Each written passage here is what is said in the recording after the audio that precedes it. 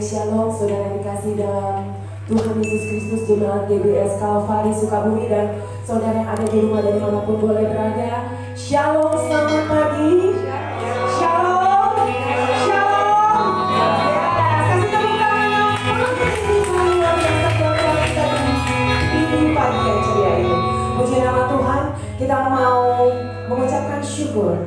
atas berkat dan rahmat yang tidak pernah berkesudahan dalam kehidupan kita. Bahkan kita boleh menjejakkan kaki di bulan terakhir tahun 2021 dan kita mau terus melangkah bersama dengan dia.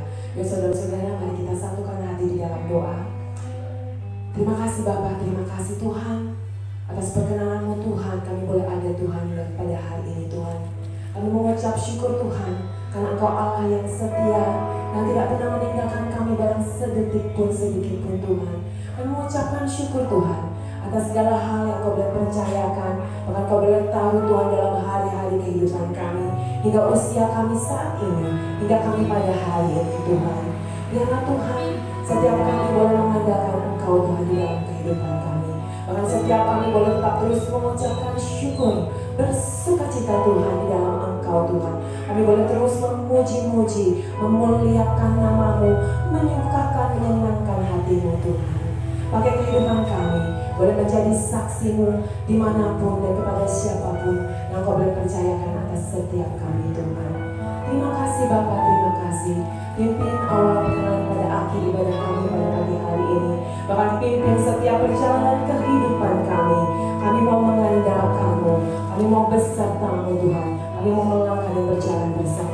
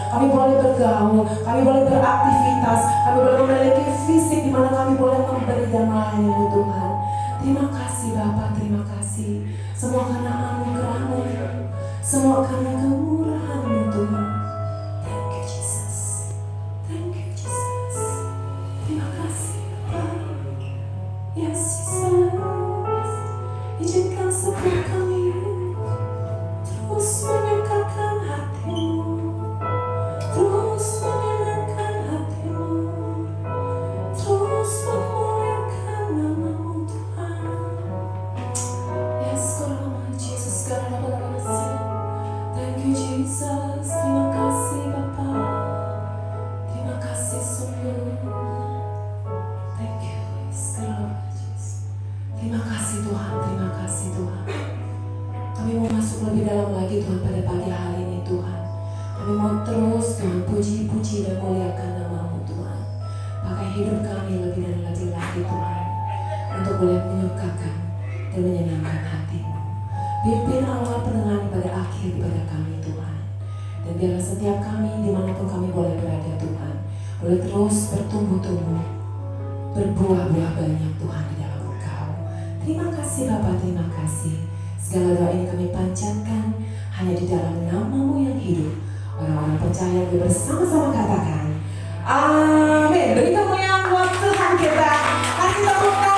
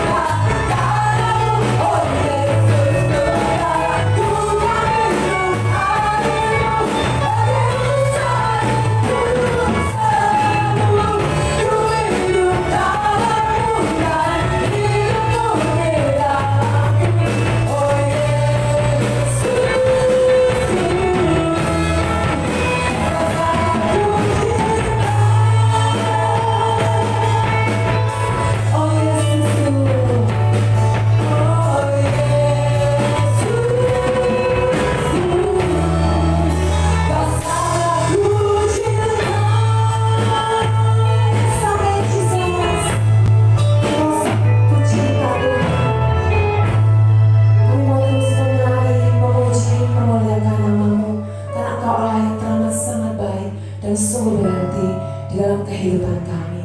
Terima kasih Bapak, terima kasih. Kami akan siapkan hati kami Tuhan untuk dapatkan berkat kebenaran firman Tuhan pada pagi hari ini. Kau boleh urapi hambamu Tuhan. Pesankan air selamat Tuhan. Pakai mulut bibir lidah hambamu untuk boleh berkata-kata kebenaran yang daripadamu. Dan bahkan setiap kami Tuhan boleh selalu dan siap untuk tangkap setiap berkat yang Tuhan boleh curahkan. Terima kasih Bapak, terima kasih. Segala doa ini kami panjatkan hanya di dalam namamu yang hidup. Haleluya. Amin. Beri kemuliaan buat Tuhan kita dan jangan kita semua. Shalom. Tuhan. Apa kabar saudaraku? Puji Tuhan aku diberkati. Praise the Lord. I am blessed. Ya. Dan saya yakin saudara semua yang datang pada pagi hari ini pulang akan membawakan kedamaian. Pulang akan membawa pertolongan daripada Tuhan, mengalami kesembuhan, pemulihan atas segala sesuatu dalam kehidupan saudara. Dan yang terpenting, saudara pulang membawa sukacita surga. Amin. Haleluya. Yang setuju dengan saya kasih tepuk tangan Amin. Haleluya. Tema hari ini minggu kedua menjelang Natal ya adalah be rejoices and joyfully. Bersukacita dan bergembiralah ya. Jadi sepanjang minggu ini kita akan mendengarkan sampai Natal nanti tentang pesan-pesan Natal saudara ya. Pastor ini juga nanti akan membahas soal uh, berita Natal ya. Ada satu alasan mengapa kita bisa bersukacita dan bergembira saudara ya. Kita baca dalam Lukas 1 ayat 14. Kita baca sama-sama ya. Satu, dua, tiga. Engkau akan bersukacita dan bergembira bahkan banyak orang akan bersukacita atas kelahiran itu. Dan bahkan dikatakan dalam Lukas 2 ayat 10 dan 11 dikatakan bahwa ada satu great joy, ada satu kesukaan besar. Kita baca sama-sama. Lalu kata malaikat kepada mereka, "Jangan takut." Terus sebab sesungguhnya aku memberitakan kepadamu kesukaan besar atau great joy ya, untuk seluruh bangsa. Hari ini telah lahir bagimu juru selamat yaitu Kristus Tuhan di kota Daud.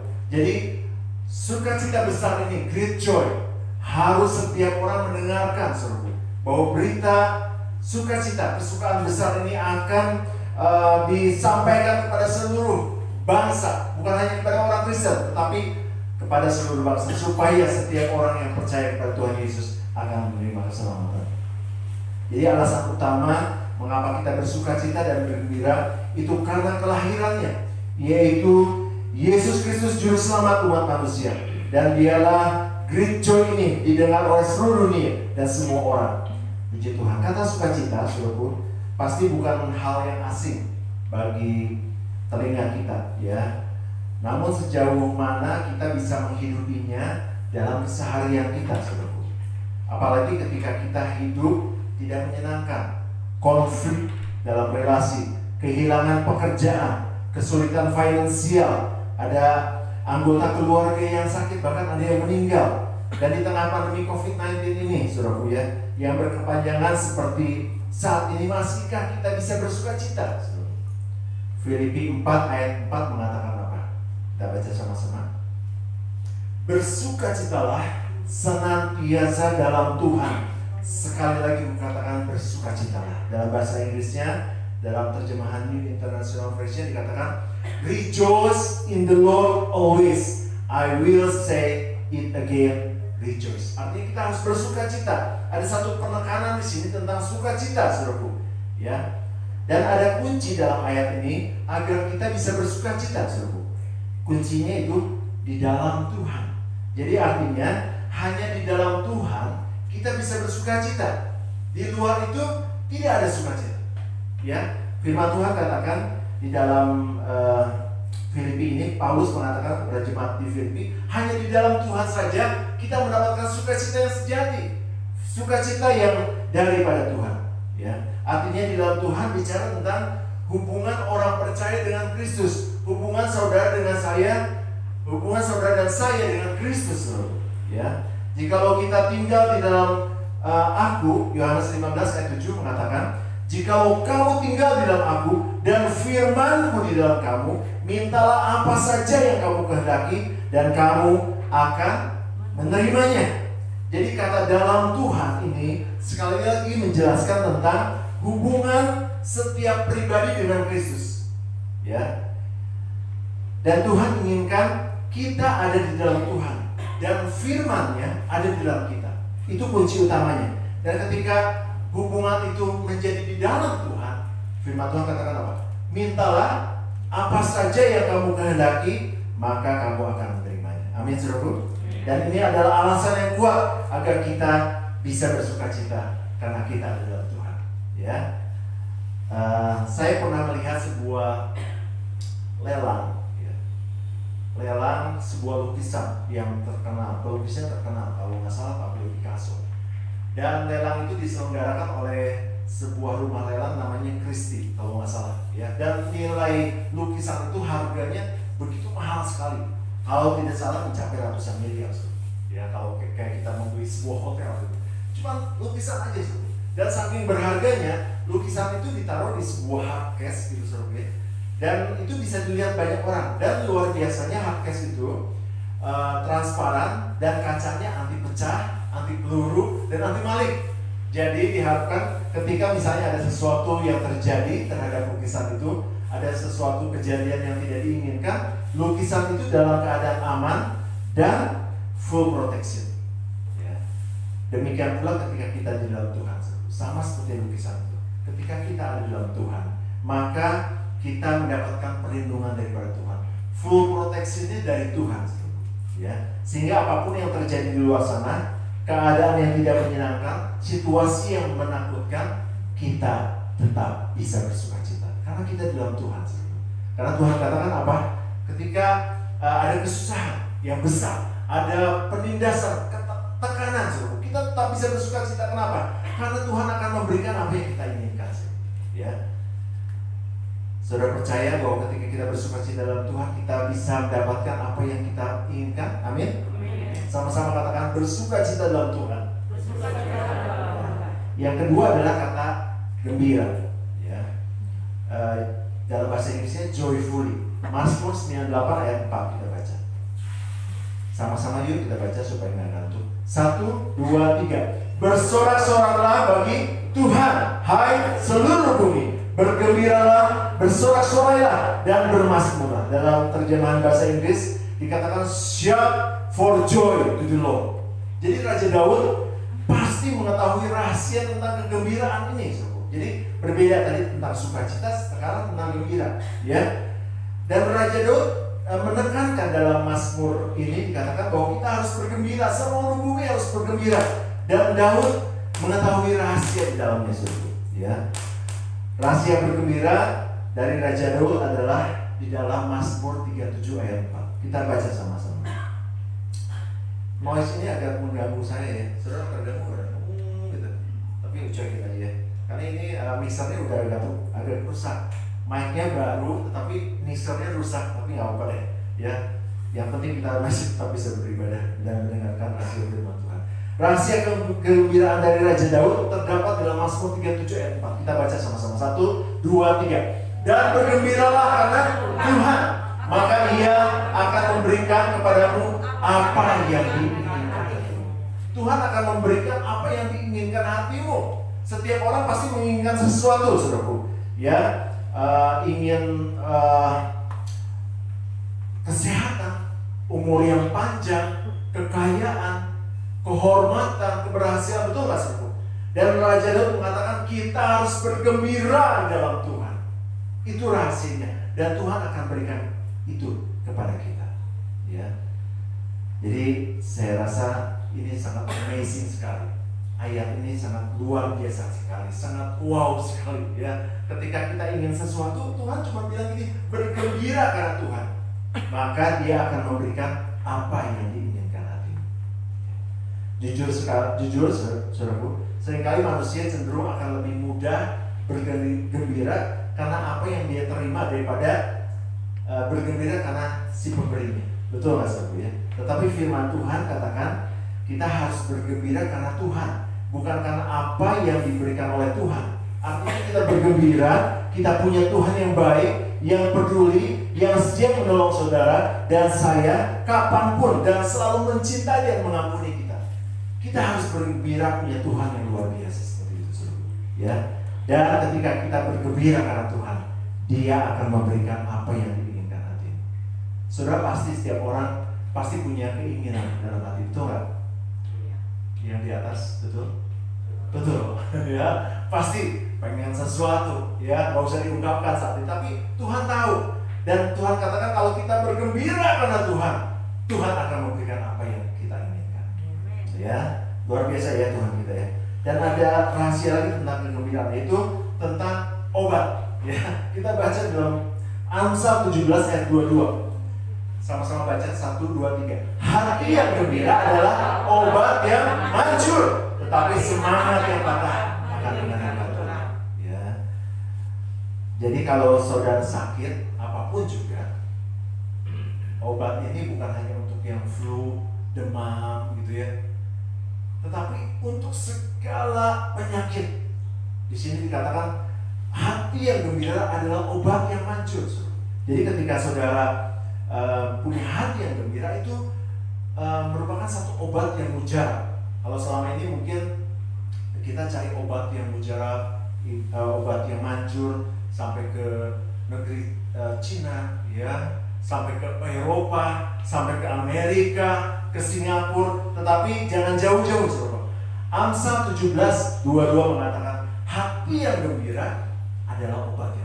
Seringkali ayat ini hanya hilang begitu saja. Kadang-kadang kita juga uh, nyanyikan lagu ini. Tapi kalau kita praktekkan betul, suku, itu merupakan obat yang manjur, suku. Ya, sampai ketika COVID-19 ini juga belum ditemukan obatnya. Vaksin bukan obat, suku, ya. Tetapi para ahli mengatakan kalau imun kita, tubuh kita itu baik, meningkat, maka uh, imun tubuh itu bisa membunuh menghilangkan semua virus-virus yang ada sebetulnya saudara. Ya. Oleh sebab itu kita harus punya imun tubuh yang kuat. Nah salah satunya itu melalui hati yang gembira. Ketika kita punya hati yang gembira, maka imun tubuh kita akan meningkat. Saudara. Bisa menghilangkan rasa sakit, bisa menghilangkan capek, bisa menghilangkan stres. Saudara. Ya oleh sebab itu miliki hati yang gembira. Ya. Contoh kecil saudara ya, kalau saudara lagi super sibuk sehari-hari pekerjaan banyak, pekerjaan belum terselesaikan, yang bekerja mungkin uh, targetnya tidak tercapai, ya banyak kesibukan yang belum dikerjakan, saudara.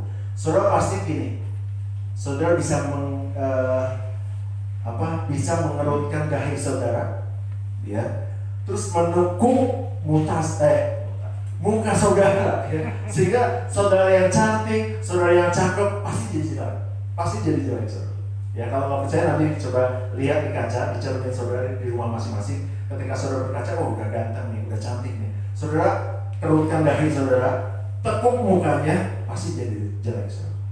Ya yang baik jadi buruk. Ya karena kita biasanya stres.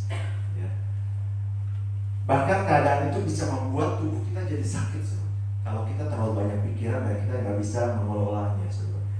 Ketika stres itu datang, cobalah untuk kita bisa memikirkan bahwa Tuhan itu baik. Dia bisa menyelesaikan semua masalah karena pertolongannya, saudara. Dan saudara bisa tersenyum, ya ditahan lima menit aja. Saudara pernah tersenyum lima menit sendirian, gitu? Bisa nggak saudara? itu akan menghilangkan stres. Setidaknya saudara akan merasa lebih baik. Ya daripada saudara cemberut, itu akan mendatangkan sesuatu yang buruk dalam kehidupan saudara. Imun juga akan berkurang. Tetapi kalau saudara tersenyum, menahannya dan e, merenungkan kebaikan Tuhan, maka setidaknya saudara akan mendapatkan sesuatu yang lebih baik. Coba saudara bisa tersenyum kan? Ya, apa-apa pakai masker juga tersenyum ya. Ya, gitu. Itu pasti uh, uh, apa saraf-sarafnya di muka sampai ke otak itu akan memberikan kesegaran ya. Nah saya akan tutup dengan sebuah ilustrasi ya, true story bukan ilustrasi tapi true story. uh, namanya Fanny Crosby. Saudara pernah dengar Fanny Crosby? Ya. Dia seorang penulis lirik lagu dari Amerika Serikat yang sangat terkenal dengan himnenya. Ya. Dan dalam sejarahnya Fanny Crosby adalah penulis himne paling produktif di zaman. Dia menulis ribuan karya. Salah satunya gini. Ini dalam terjemahan bahasa Indonesia judulnya Yesus Tuhan. Yesus Tuhan dengan doaku itu karyanya Fanny Crosby. Ada lagi satu lagi yang saya catat tentang ciptaan baru. Uh, bahasa Inggrisnya gini. Uh, aku bernyanyi bahagia memuji Yesus selamanya. Nah, itu, ciptaan Fanny Crosby. Kalau zaman dulu kan uh, tahun 60-an, 70, 80 belum banyak juga pengarang-pengarang lagu di Indonesia ya. dan itu banyak dinyanyikan. Bahkan sampai saat ini ketika saya ketemu sama beberapa teman-teman hamba-hamba Tuhan yang besar yang punya jemaat ribuan serbu, mereka masih menyanyikan lagu ini. Ya.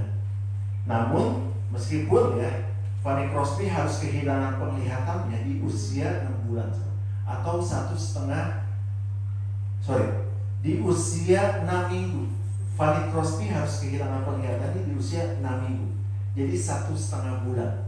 Saudara bayangkan uh, penderitaannya selama ini. Dan di ulang tahunnya yang ke-92 ia mengatakan gini ia sangat bergembira dan berkata jika ada jikalau ada orang yang lebih bahagia dari saya bawalah orang itu kemari supaya saya dapat menyalaminya artinya saudaraku Tuhan memberikan kemampuan kepada Fanny Crosby memiliki sukacita yang begitu besar dalam situasi yang bagi kebanyakan orang merupakan tragedi.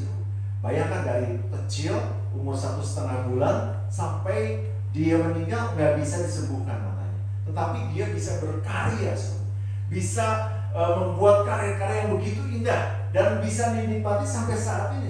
Dia kalau salah hidup di tahun 1800 sekian, nggak nyampe 1900 tetapi karyanya bisa kita nikmati sampai saat ini, saudara. Ya. Dan ternyata, saudara, di usia yang ke-8 tahun, ya, di, di bukunya ditulis bahwa dia membuat satu keputusan untuk tidak bersedih, untuk tidak merata, untuk tidak menderita atas kebutaannya.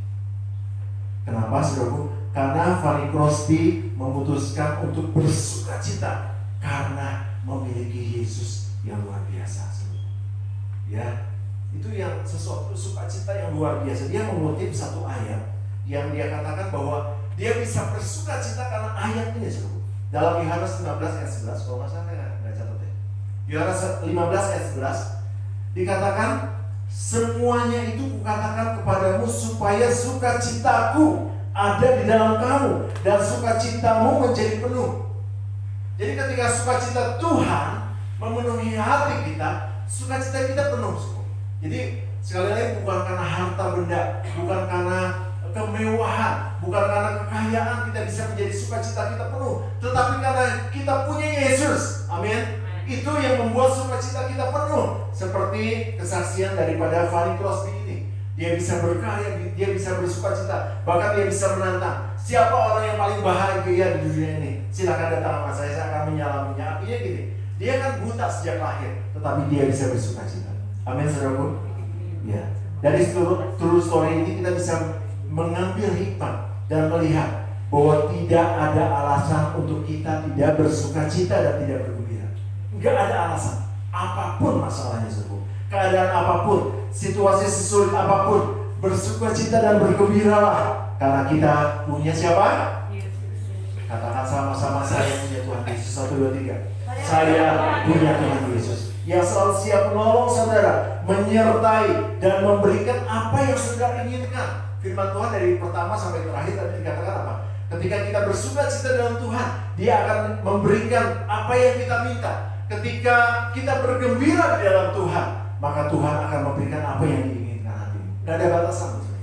Asalkan kita bersuka cita dalam Tuhan dan kita bergembira di dalam Dia. Amin, saudaraku. Haleluya. Maka saudara pasti akan mendapatkan apa yang saudara inginkan. Puji Tuhan. Saya akan closing ya. Be rejoices and joyful. Bersukacita dan bergembiralah. Bersukacita di dalam Tuhan dan bergembiralah di dalam uh, Tuhan. Karena Tuhan, maka apa pun yang saudara minta dan inginkan, pasti Tuhan akan berikan. Amin, saudaraku. Haleluya. Saya undang tim musik untuk maju. Mari, tim pelayanan.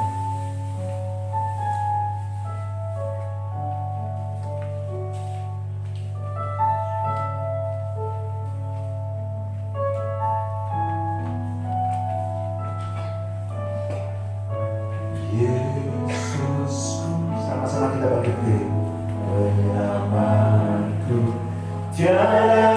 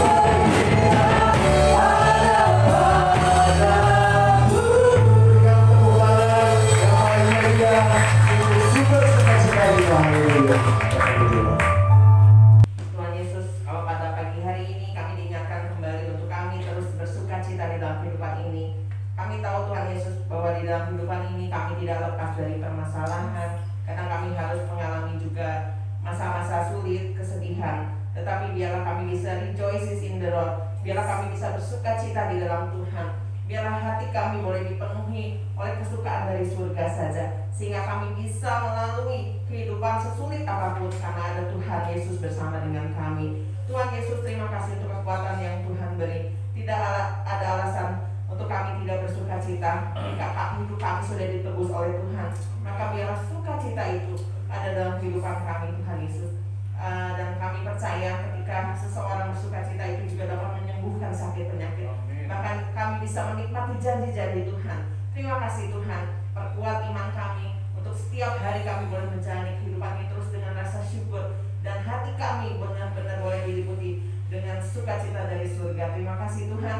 Kalau sebentar kami juga akan uh, melakukan perjamuan kudus, Tuhan yang akan menyucikan setiap hati kami, kehidupan kami dan kami boleh eh, kembali mengingat akan kasih-Mu Tuhan Yesus pengorbananmu untuk kami semua Terima kasih Tuhan di dalam nama Tuhan Yesus kami bersyukur. Amin.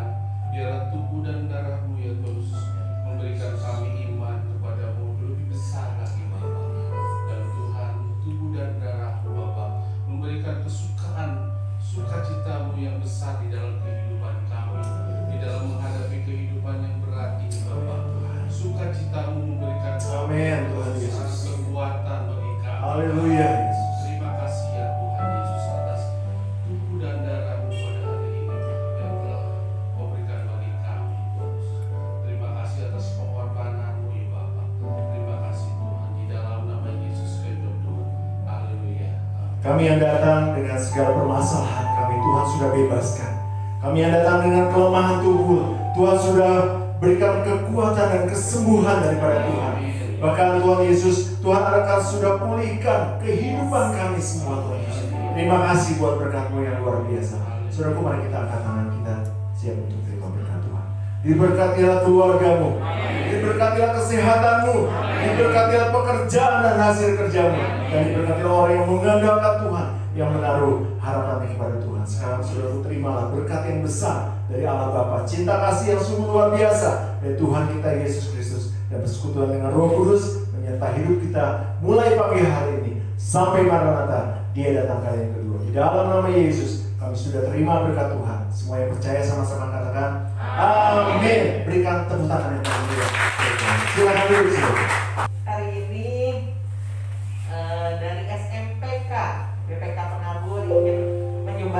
Daniel